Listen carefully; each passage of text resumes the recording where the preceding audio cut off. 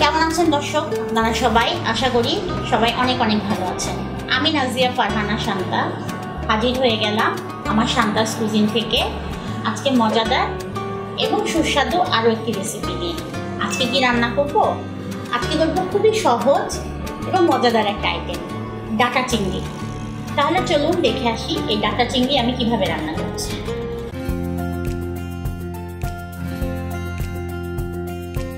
দর্শক আমি সুস্বাদু ডাটা চিংড়ি রান্নার আগে আমার চুলাটা অন করে দিচ্ছি। প্রতিবারের মতোই প্যানটা একটু গরম করে নেব। আমি এই রান্নাটা সরিষার তেল দিয়ে করছি। আমি পরিমাণ মতো তেল দিয়ে দিচ্ছি।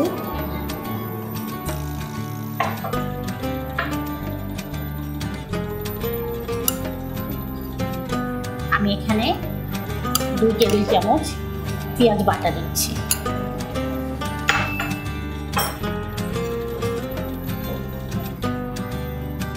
পেঁয়াজ বাটাটা, একটু ভুনবো আমার চুলাটা কিন্তু ফুল ফ্লেমে আছে।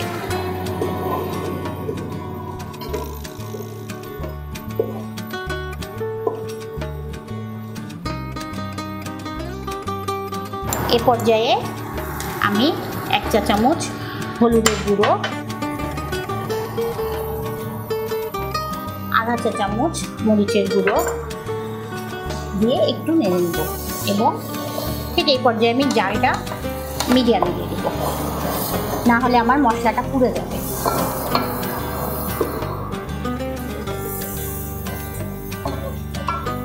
ডাটা তো আমার খুব পছন্দ, আমি জানি না আপনাদের কার পছন্দ।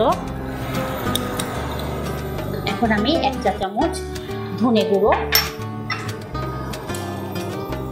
আধা চা চামচ জিরে গুঁড়ো দিয়ে দিচ্ছি।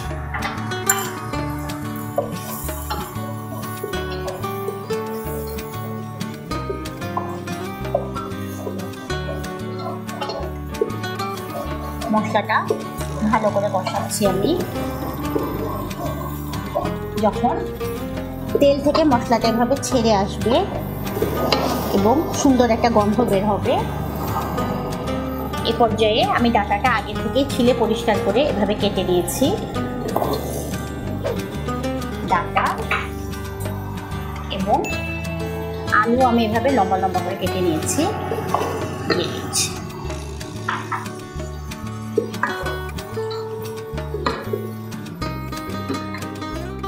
এটা দিয়ে আমি এখন একটু কষাতে থাকব।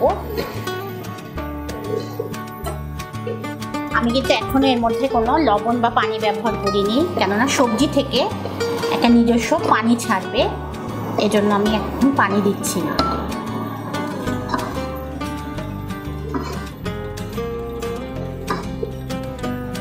ধৈর্য নিয়ে সুন্দর করে কষাবে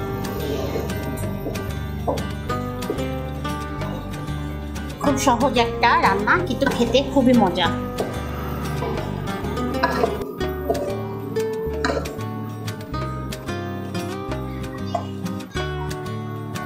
আমি ঠিক এই পর্যায়ে লবণ দিয়ে দিলাম।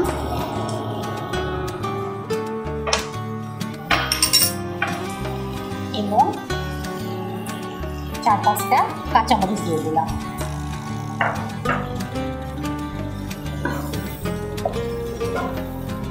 যখন আপনার ডাটার আলুর গা থেকে মশলার তেল এভাবে ছেড়ে চলে আসবে, তখন বুঝতে পারবেন যে আপনার এটা কষানো হয়ে গেছে এবং এ পর্যায়ে আমি এটা সিদ্ধ হওয়ার জন্য পানি দিয়ে দিচ্ছি।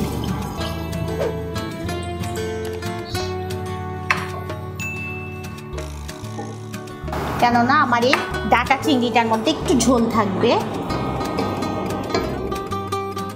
আমার ডাটা আলুটা সিদ্ধ হবে। এবং আমি এটা এখন ঢেকে দিচ্ছি। দর্শক ফিরে আসছি, ডাটাটা সিদ্ধ হওয়ার পরে। দর্শক ফিরে আসলাম।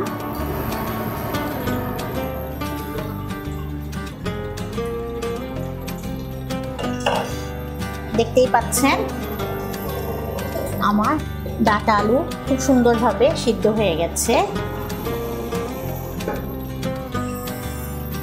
আমি এখন এখানে আগে থেকে এভাবে স্লাইস করে কেটে রাখা টমেটো, একটা টমেটো পুরোটাই দিয়ে দিচ্ছি। এবং এখানে এভাবে ছেড়ে রাখা চিংড়ি মাছ দিয়ে দিচ্ছি।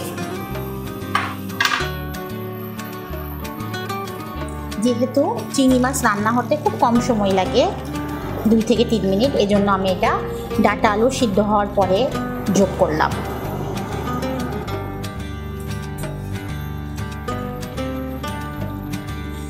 এবার এটা ফুটে উঠলে আমি চুলাটা বন্ধ করে দেবো।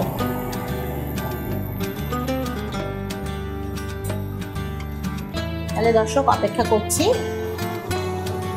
ডাটা চিংড়িটা ফুটার জন্য। দর্শক, আমার ডাটা চিংড়ি অলমোস্ট ডান আমি এখানে হালকা ঝোল রাখব, একদম মাখা মাখা করব না। আর দুই মিনিটের মতো ফুটিয়ে আমি চুলাটা বন্ধ করে দেবো। দর্শক দেখতেই পাচ্ছেন আমার ডাটা চিংড়ি হয়ে গেছে। আমি এখন চুলাটা বন্ধ করে দিচ্ছি। ফিরে আসছি পরিবেশন নিয়ে।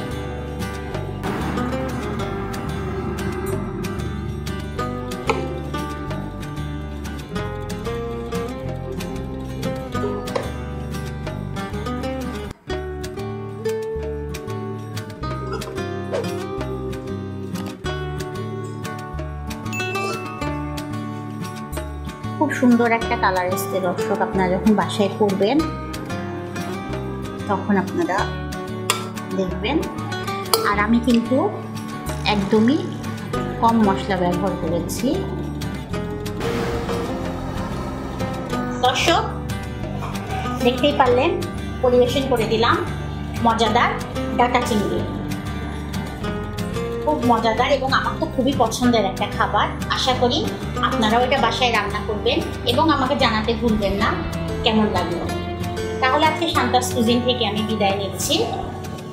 আবারও দেখা হবে নতুন কোনো রেসিপি নিয়ে। খোদা হাফেজ।